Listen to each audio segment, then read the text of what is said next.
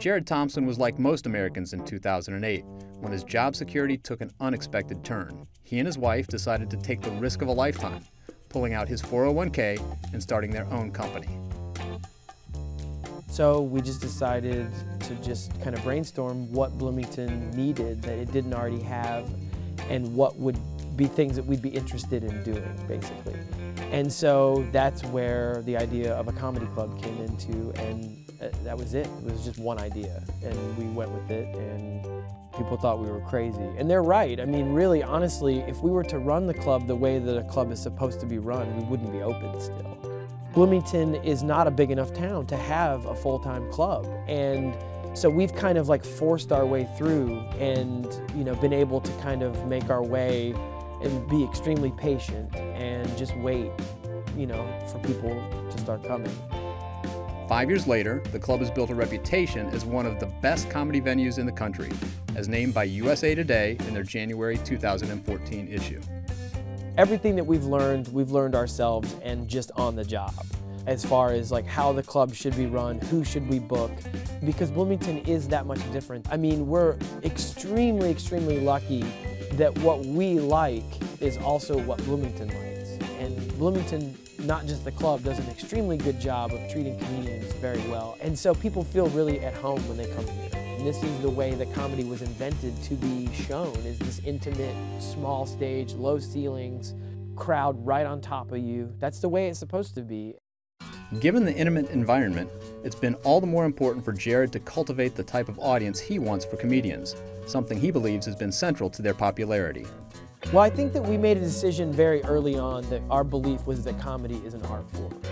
And therefore, any art form is treated with respect. And so we weren't going to allow table talk or yelling out or things like that. We were going to take a stance against it. And anyone that thinks that they're helping at a comedy show by yelling out has never experienced art before. I mean, it's just not the way it happens. Like you don't go to a ballet and heckle. Like, and so we've kind of over time kind of made it to where the audiences that we get are more savvy to comedy. They understand what we're trying to do here.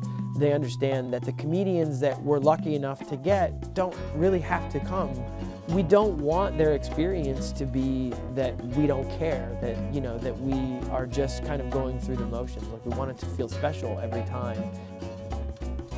And Comedy Attic's reputation is spread among nationally acclaimed comedians as well affording Jared the ability to pick and choose those who best fit the venue. But there is just like this, it's just this it.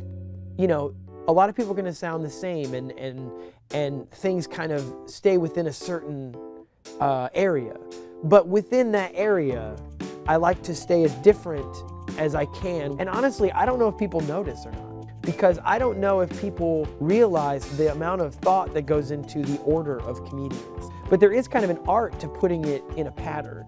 You know, the two things I feel the proudest about about this club are, you know, the level of comedians that we've been able to bring here. And the number one thing is our local comedy scene, like how we have been able to provide a place for people to really start, you know, their career in comedy because we have venues that have given people almost every other art form, you know, over the years.